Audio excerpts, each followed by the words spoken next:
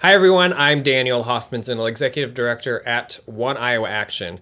Iowa's legislative session is less than one month away, and unfortunately, we've heard whisperings of a bathroom bill, a religious exemption bill, and other legislation that would harm our community, particularly transgender Iowans. At One Iowa Action, we're fighting back. This last fall, we relaunched the organization and have added 10 new board members. Of the 10, 7 are transgender and 4 are people of color.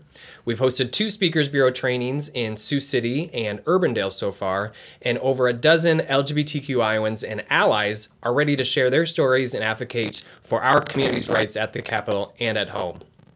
We have five more trainings scheduled next month in Cedar Falls, Mason City, the Quad Cities, and online through webinars, and are going to be scheduling more. So please let us know if you're interested in hosting one in your community across the state. Our Speaker Bureau trainings are leading up to LGBTQ Day on the Hill, which is Tuesday, January 30th. In order to make a bold statement, we'll need LGBTQ Iowans and our allies to show up in large numbers. Today, I'm here to ask for your help please make a donation to One Iowa Action by the end of this year. Your donations will help support our Speaker Bureau training that we're going to be doing across the state. It will help fund transportation for LGBTQ Iowans and our allies from across the entire state to come to LGBTQ Day on the Hill on January 30th. And your donations will help fund the really important work that we need to do each and every day at the Capitol.